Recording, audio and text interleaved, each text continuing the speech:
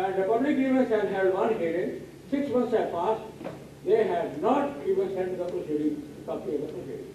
Pointed question was to the conservation people, is there any layout plan which shows uh, the plot, school plot, does it have this road or not?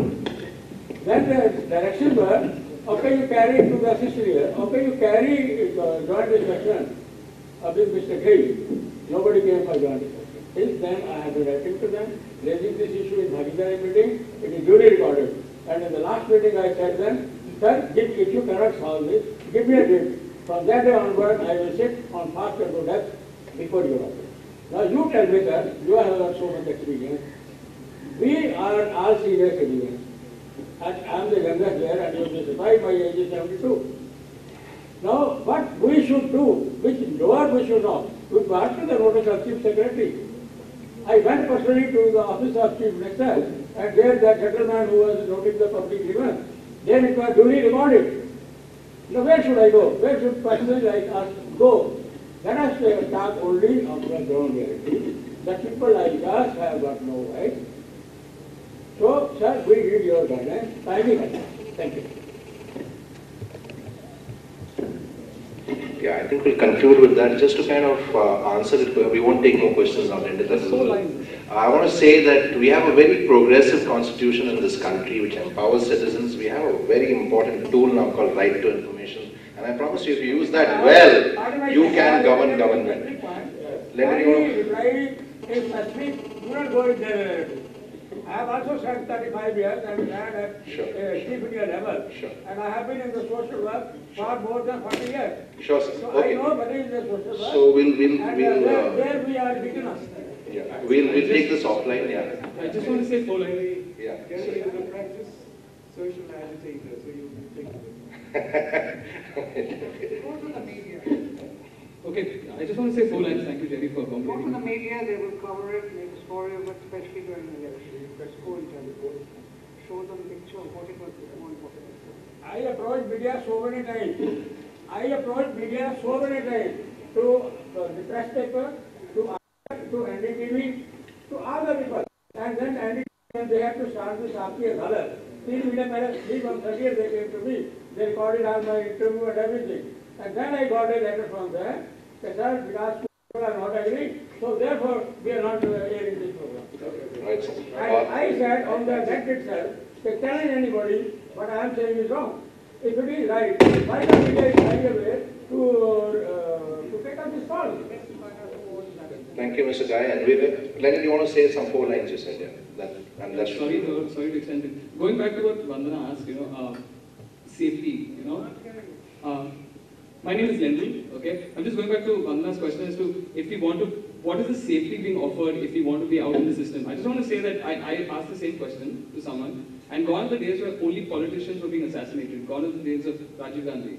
Today, we have bombs on the train, so I don't think it's a big difference whether you're, you're a politician or you're a common citizen. The chances are the same. And secondly, with regards to how do you get there, I think if you if you gave me a, if you gave me the opportunity to be reborn as a politician or Aamir Khan, I choose Aamir Khan. He has far more influence in what he says rather than a politician. So if you really want to make a change, I, I, I mean, politics is one of the ways, but if you really want to get the, get out there, just get out there and, and people will listen as long as you, you can talk, you know. True, I agree, I agree with Lyndon and I agree with what uh, Tara Sinha said is, uh, we actually have a national award for social justice and citizen action. So you to people from all walks of life, including people from Panchayati Raj and, you know, things like that. Okay, we'll conclude this session. We'll call on Mr. Anand Trivedi again to uh, give away the mementos and Well,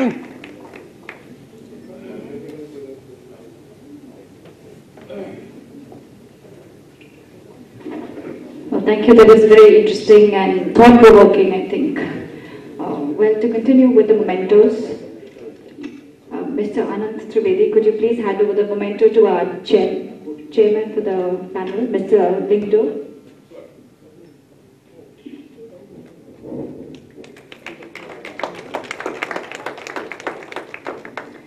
Mr. Rajendra Joshi.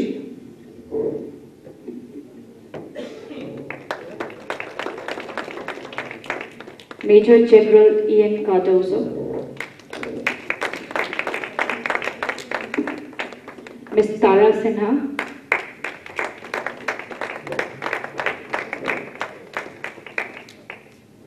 And Dr. Venkat Pulla.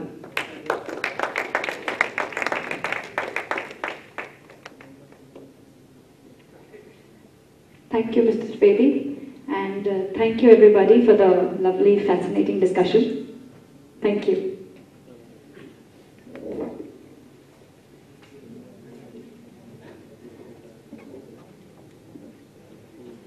Every wrong or right, every right. We can probably discuss that later. Well, moving on to the second panel. The topic for the panel is Citizen Action to Combat Human Trafficking. This is a special panel conducted by UNODC. For the panel, I call upon Ms. Hasina Kharbhih to please come onto stage. Ms. Hasina is an Ashoka Fellow and the founder of Impulse Network for Northeast India. I would also like to call upon Mr. Jerry Pinto. Mr. Jerry Pinto is a consultant and a child rights specialist.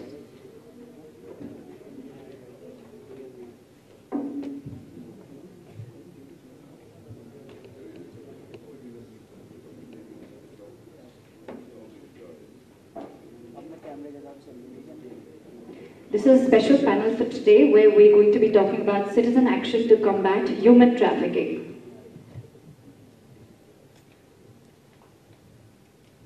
Thank you.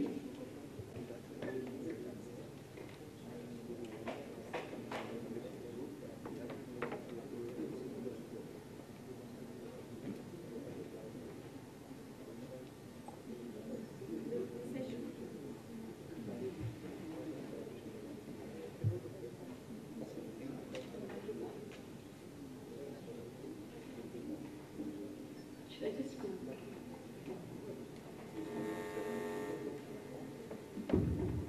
has been given to, to us is basically in terms of uh, citizen action to combat human trafficking. What I'll be sharing now is basically a, a response by a citizen in terms of the issue of human trafficking. It's a, it's a practice, it's a response which is happening in the northeast of India.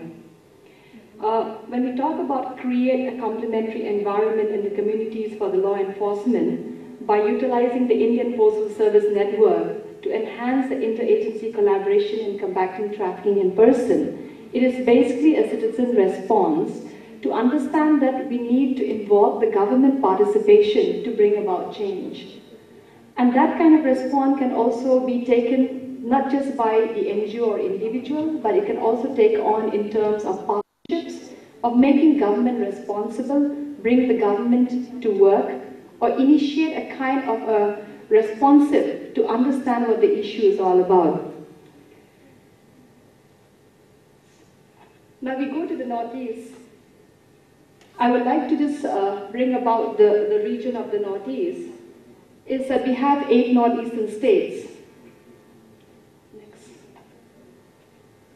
Eight northeastern states. Now, the northeast is, uh, I mean, we have eight states, which is Assam, bordering Bangladesh, Bhutan, and Nepal. Then we have Nagaland, bordering in Myanmar, Manipur, bordering Myanmar, Mizoram, bordering Myanmar, Meghalaya, bordering Bangladesh, Arunachal Pradesh, bordering China, Tripura, bordering Bangladesh, Sikkim, bordering China and Nepal, and Bhutan. Now, these are the states which are having a lot of international border across. And this is also the states which are actually very isolated in terms of its geographical location, in terms of the work which is happening in that region or the communication level. It's very far off. Next. Now we look at the situation in the Northeast. We come across that over the years now, especially over the past few years, human trafficking has become very rampant. That young children and young women are being trafficked from the remote of different districts of the region to other parts of India as well as it's also being a transit route for a lot of international cross-border human trafficking issues. Now these remote villages of the Northeast at one end does not have access to sort of information. No doubt at the state level or the, the main district level, the communication services is very much there. But when it goes far beyond the different district, then there's a question of how do you reach there to educate people? How does people get to know about the issue? How does people get to respond that human trafficking is a violation? Or how vulnerable young children and young women are being brought from those regions to different parts of the states in India and they're being exploited at various forms, whether it's labor, whether it's sexual exploitation and others. To go into it, what we from Impulse, the organization, took up as a step that we could bring change. We took up as a step that as a nodal focal point for the Northeast, we would be able you know, to work. So for the past eight years, what we've been doing was rescue operation that has been conducted through networking in other metropolitan cities in India, as well as you know, the challenges that we have faced in space of bringing repatriation processes has been quite a big question. Often when girls are being rescued in metropolitan cities, there has been always one big question, how do you send them back? How do we connect to the families in the different district? Which will be the mode of connecting? Because it's just not about telephoning, you know, the district headquarters. There are many villages and far-flung villages. How do you trace the families of these young children and young girls? Especially when they've been trafficked when they're at the age of 11 or 12, and when they're rescued, they're already young girls of 18. Sometimes they're rescued when they're 19 or 20. So that comes with the question, how can we bring people to participate? Which kind of support system the government can do to actually bring about responding to repatriation of trafficked girls? What we thought out that we could do it and how could we do it? We brought about the Indian Postal Service or the post office that today very often we don't talk about it anymore in the world of internet, in the world of multimedias and ITs. But the Indian Postal Service, it's basically reaching out to all the remotest area of the Northeast till today. It is something which is connecting the people. People are still responding, whether it's a money order or you know getting a letter back or sending an information or a letters. Now, as an it is actually an information hub for a lot of villages in the region, and I think it is still existing in many remote parts of India as well. Now, postman or the postwoman is also a trusted and very familiar visitors to the community.